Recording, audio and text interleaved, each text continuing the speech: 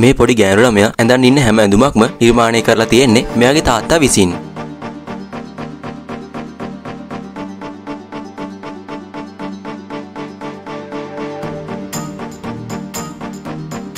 එක එක වර්ගවල ඇඳුම් 100ක් විතර මෙයා මහලා තියෙනවා.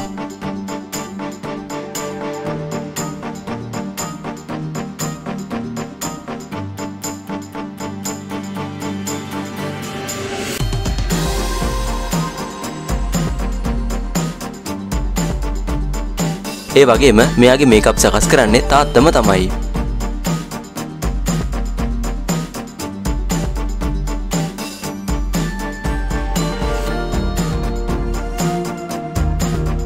කොහොමුණත් එයා මේ සේරම දේවල් නිර්මාණය කරන්නේ පැරණි මහාන මැෂිමක් පාවිච්චි කරලා.